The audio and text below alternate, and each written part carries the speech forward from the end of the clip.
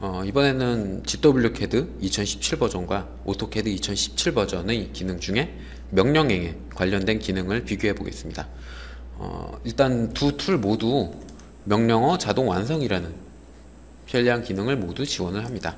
어, 명령어 일부분만 타이핑을 해도 그 해당하는 명령들을 모두 찾아주는 아주 편리한 기능인데요.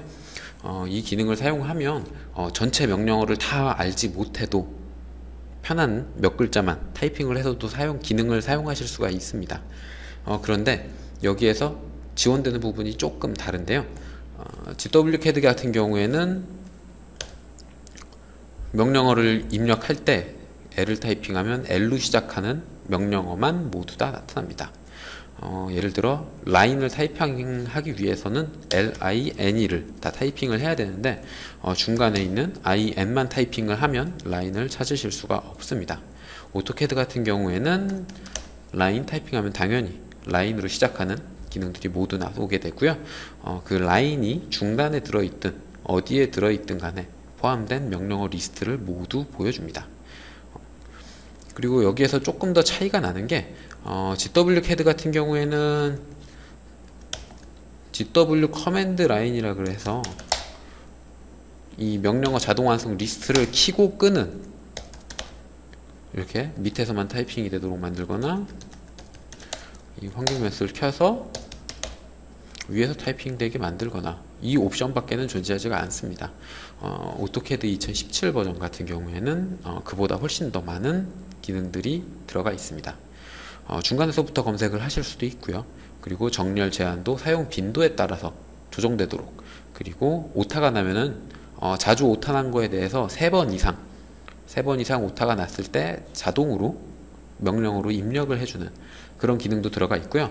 어, 환경 변수 검색을 하고 싶지 않다라고 했을 때 그때 환경 변수 검색 안 되도록 그리고 어, 추가적으로 블록의 이름을 타이핑해서 블록을 삽입한다든가 해치 이름을 타이핑을 해서 해치를 삽입하는 그런 기능들까지 들어가 있습니다.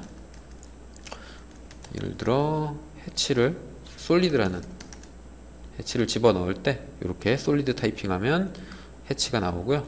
바로 해치를 사용할 수 있게 그리고 어, 블록을 1, 2, 3이라는 블록을 만들었을 때 1, 2, 3을 입력하면 바로 블록을 삽입할 수 있게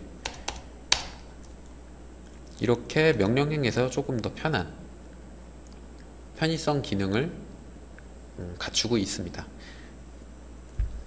그리고 이것보다 어, 사용하시는 분들이 더, 더 어, 와닿을 만한 그런 차이점은요.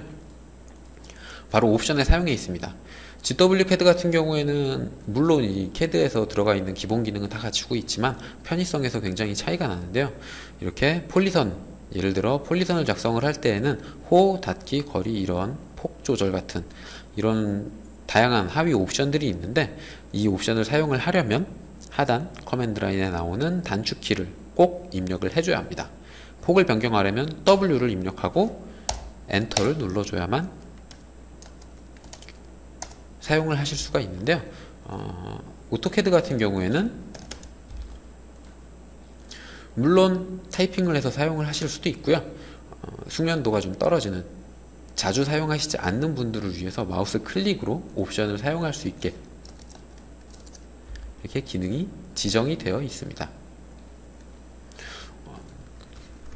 명령행에서 어, 자동 완성되는 부분 그리고 어, 해치 이름이나 블록 이름으로 기능을 사용하는 부분 그리고 이렇게 옵션을 마우스 클릭으로 쉽게 사용할 수 있는 기능 이런 인터페이스에서 명령행에 대해서는 이 인터페이스에 대해서 차이가 크게 나타나고 있습니다.